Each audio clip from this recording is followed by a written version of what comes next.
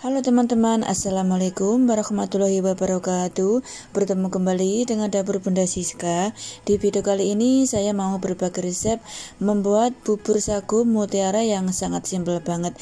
Ini cocok banget buat takjil berbuka puasa teman-teman. Kalau kalian penasaran bagaimana cara membuatnya Silahkan simak videonya sampai selesai ya Supaya nanti kalian tidak ketinggalan trik dan caranya dari Dapur Bunda Siska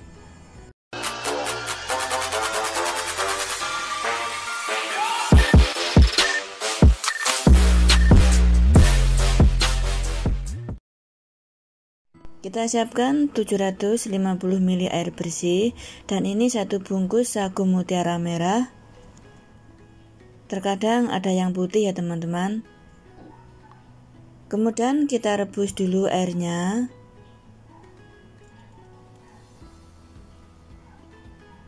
Kita tutup, tunggu sampai airnya itu mendidih ya. Ini saya rebus dengan api besar.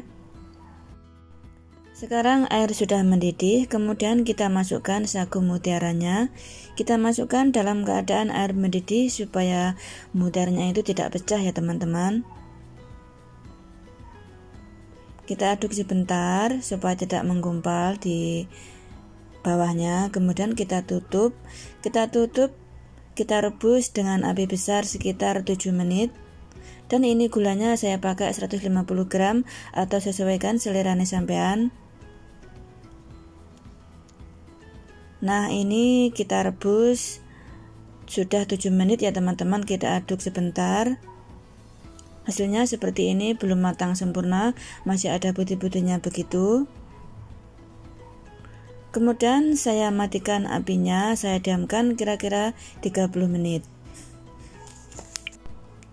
Sekarang saya mau menyiapkan ini santan karanya 200 ml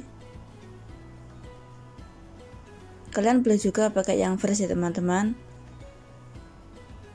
Ini 200 ml nanti saya tambahkan air kira-kira menjadi 400 ml tapi ini masih kental banget ya teman-teman karena santan kara ini sangat kental sekali. Kemudian saya aduk sebentar. Ini saya tambahkan lagi sampai menjadi 400 ml setengah sendok teh garam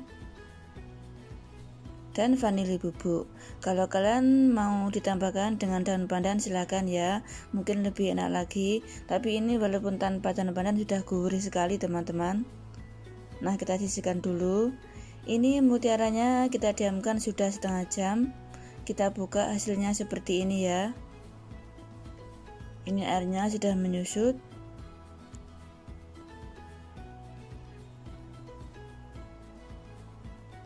kemudian saya mau menambahkan air kira-kira satu mangkok atau 250 ml jadi semua airnya itu menjadi satu liter ya teman-teman. Ini gulanya 150 gram atau sesuaikan selera nih sampean.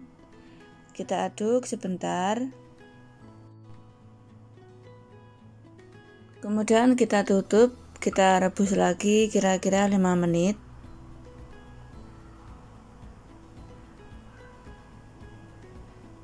ini kita rebus dengan api sedang ya teman-teman. Setelah kita rebus 5 menit kemudian nanti kita matikan apinya ya. Nah ini sudah 5 menit kemudian saya matikan apinya. Kemudian saya diamkan sekitar 10 menit. Nah ini sudah 10 menit teman-teman. Jadi setelah didiamkan sekitar 10 menit hasilnya seperti ini ya. Nah sekarang kita tuang di wadah lain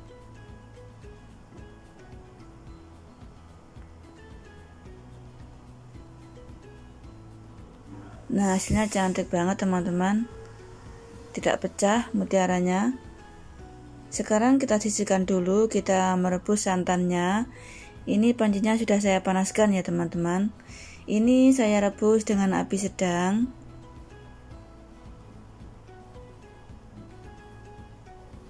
Kita rebus sampai mendidih ya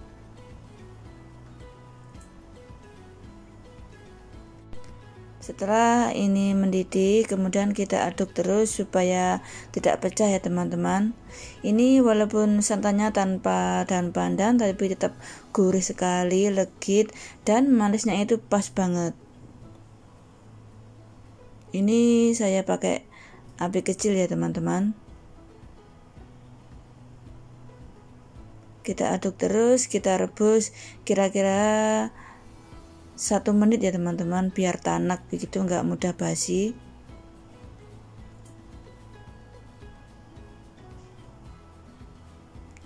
Nah ini sudah satu menit kemudian saya matikan apinya. Kemudian saya tuang di wadah lain juga. Ini nanti tinggal ditaruh di kulkas kalau sudah dingin kalau kita mau bikin tinggal diseduh saja ya teman-teman. Nah seperti ini hasilnya Kemudian saya mau mencobanya. Wow, hasilnya sangat cantik sekali ya teman-teman. Kemudian ini santannya saya mau taruh di atasnya seperti ini. Wow, kelihatannya pokoknya enak sekali teman-teman. Ini gurih banget, pas banget rasa manisnya. Silahkan mencoba ya teman-teman. Semoga nanti sampean suka dengan resep saya ini bubur mutiara. Ini enak banget. Terima kasih yang sudah menonton video saya sampai habis. Semoga bermanfaat. Wassalamualaikum warahmatullahi wabarakatuh.